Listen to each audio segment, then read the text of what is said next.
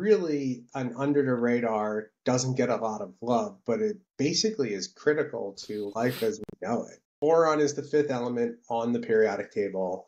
It has very unique chemical properties. It's light, it's heat resistant, energy dense, microbial.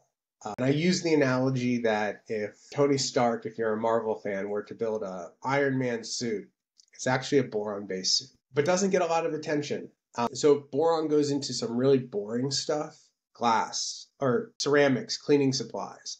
And then on the glass side, it goes into all forms of glass. That's LCD, that's Pyrex, uh, also textile fiberglass. And then it goes into some really important uh, specialty boron applications. So take boron carbide. That's the third hardest material on planet Earth. That's what they use to make uh, Kevlar and, and tank armor. Goes into ferroboron. There's a ton of attention on the neodymium rare earth permanent magnets. Those magnets actually are Nd for the neodymium, Fe iron, B boron. And so there's about 2% of the 1.5 2% of the magnet is actually the boron. But if you look at the CAGRs that are attributable to permanent magnets and whether it's driven by AI, electric vehicles, wind, uh, the world's going to need more high performing magnets. And so that's going to require more boron.